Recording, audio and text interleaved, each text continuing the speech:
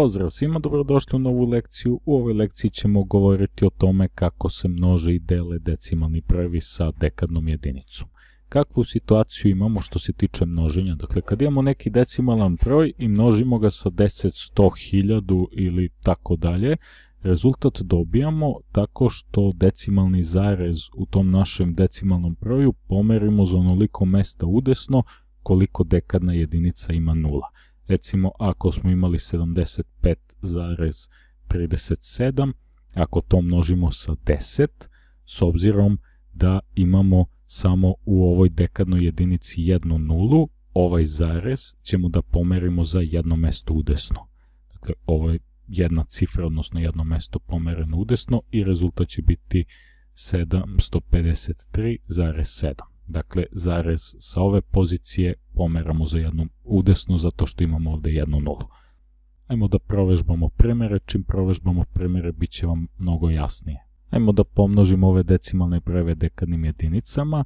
Prvi ovaj broj množimo sa desetkom, desetka je takav broj koji ima jednu nulu, s obzirom da ima jednu nulu, onda će ovaj zarez morati da se pomeri za jedno mesto udesno i doći će ovde. Dakle, to će biti 370,23, dakle, bukvalno zarez je odavde pomeren ovde, za jedno mesto udesno, zato što ovde imamo jednu nulu. Ovde imamo 0,05 puta 10, opet zapeta ide jedno mesto udesno, jer 10k ima jednu nulu, pa za jedno mesto ide udesno, dakle to će biti 0,0,5. E sad je glupo ovako mi u matematici da imamo broj koji počinje sa dve nule, dakle decimalni broj maksimum može da počne sa jednom nulom, tako da jednu nulu viška ćemo da obrišemo. Dakle, rezultat je 0,5.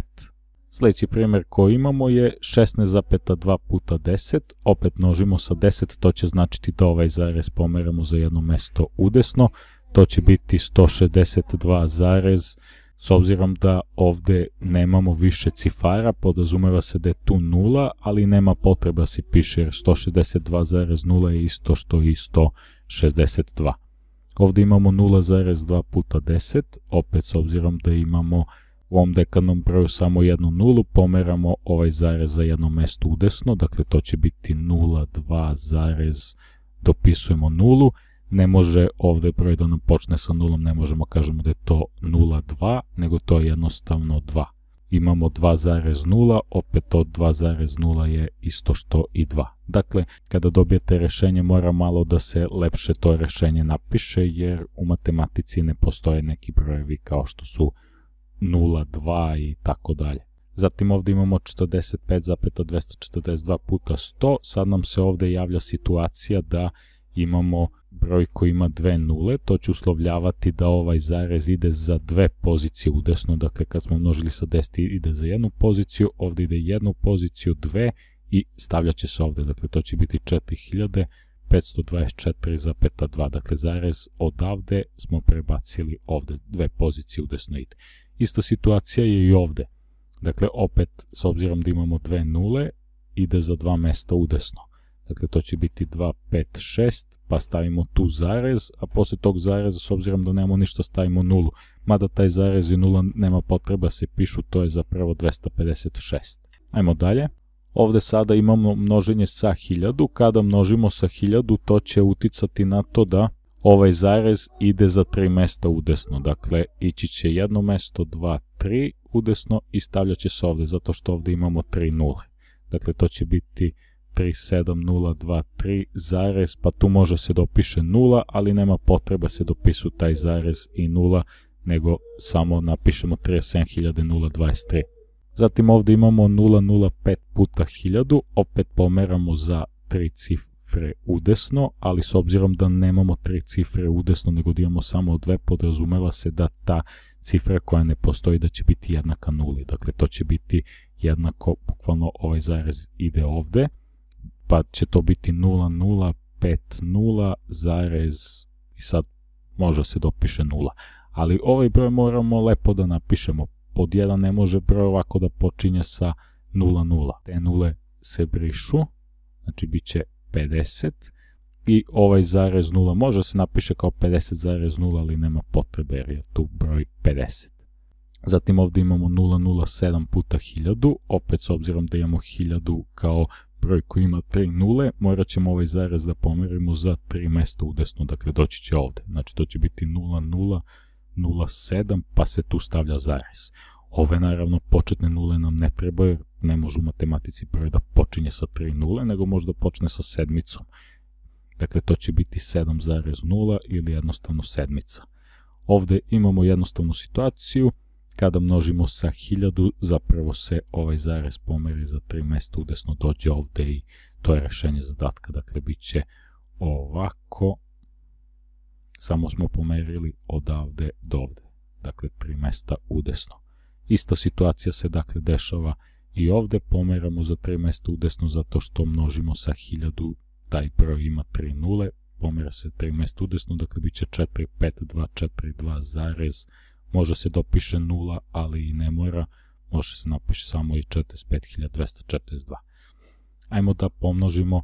2,56 sa 10.000, 10.000 ima 4 nule, pa ćemo morati ovaj broj da pomerimo za 4 cifre udesno. Jedna cifra, dve, više nemamo cifara, ali ćemo tu da izmišljamo nule, dve nule i pomerimo za te dve nule udesno, dakle bit će 2, 5, 6, 0, 0, nama je bila zapeta ovde, za četiri mesta je pomerano prvo mesto, drugo, treće, četvrto, ovde se stavi zapeta i može nula se dopiše, ali nema potrebe, dakle to će biti 25.600 rezultat kakva je situacija što se tiče deljenja decimalnih brojeva? Pa bukvalno ista kao i kad množimo decimalne brojeve sa dekadnom jedinicom, s tim što zarez nećemo da pomeramo ka udesno, nego ćemo da pomeramo ulevo. Dakle, decimalni zarez se pomera za onoliko mesta ulevo koliko dekadna jedinica ima nula. Ajmo da krenemo sa primjerima.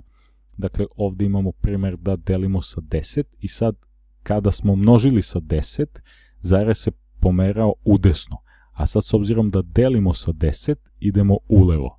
Dakle, nećemo ići kao udesno, nego s ovom zapetom idemo ulevo. Dakle, ova zapeta će doći ovdje između trojke i sedmice, pa će to biti 3,7023. Dakle, odavde smo vratili za jedno mesto ulevo, zato što smo ovdje imali jednu nulu. Da smo imali 5 nula, išli bismo 5 mesta ulevo nazad.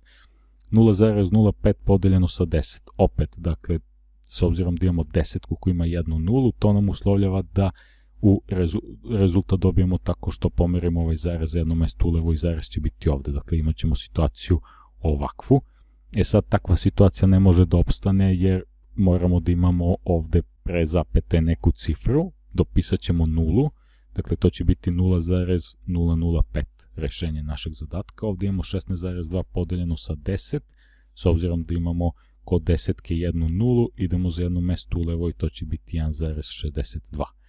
0,2 podeljeno sa 10, opet uzimamo i pomeramo za jedno mesto ulevo ovaj zarez, bit će zarez 0,2, morat ćemo da opišemo jednu nulu i to je rešenje ovog našeg zadatka. 415,242 podeljeno sa 100, ovdje je jednostavna situacija, dakle imamo dve nule, idemo dva mesta ulevo i zapeta će biti ovdje, dakle to će biti 4,2 15242, onda imamo 2,56 podeljeno sa 100, ovdje imamo situaciju da ćemo ići za dva mesta ulevo, ali nemamo baš dva mesta gdje možemo da idemo ulevo, tako da ćemo morati da dopišemo na jedno mesto nulu i tek se ovdje stavlja zarez. Dakle, imamo situaciju gdje imamo rezultat ovakav. Ali to ne može tako se napiše, moramo stavimo neku cifru ispred decimalnog zareza, kad nema šta se stavi, stavlja se nula. Ajmo dalje. Sada ćemo da delimo sa 1000, deljenje sa 1000 s obzirom da 1000 ima 3 nule će uslovljavati da nam ovaj zarez ide 3 cifre ulevo, dakle ovdje će sad biti taj zarez, bit će 1,337023. Ovdje imamo 005 podeljeno sa 1000, idemo 3 mesta ulevo zato što imamo ovdje 3 cifre, ali ne možemo da odemo 3 mesta ulevo jer nemamo ovdje neke cifre pa ćemo morati ovako da dopisujemo nule. Znači ovaj zarez će doći ovdje, dakle imamo situaciju ovakvu. Baš neki čudan broj i morat ćemo ovdje da dopišemo nulu. 332,7 podeljeno sa 1000, opet idemo 3 mesta ulevo zato što imamo ovdje 3 nule, da smo imali 5 nule išli bismo 5 mesta ulevo naravno i ovdje se stavi zarez, dakle bit će zarez 3327 i ovdje se stavi nula. Ovdje isto imamo Dobro, ovo je jednostavan primjer, delimo sa 1000 tri mesta ulevo, idemo, zarez će biti ovdje, dakle bit će 16,2567,8. Naravno ovaj zarez se gubi jer se prebacuje ovdje. 1,2 podeljeno sa 1000, dakle idemo tri mesta ulevo, imamo tri mesta ulevo, jedno mesto, 2, 3 i tu se stavi zarez, a ovim prazninama upisujemo nule, dakle to će biti ovako nešto i tu dopišemo jednu nulu. I na kraju imamo ovako jedan jednostavan primjer gdje imamo četiri nule kada delimo sa brojem, odnosno dekadnom jedinicom koja ima četiri nule, morat ćemo za četiri mesta se pomerimo ulevo. To će biti ovdje, dakle bit će 1,23425 I to je to što se tiče ove lekcije. Vidimo se u narednoj lekciji. Pozdrav i sve najbolje.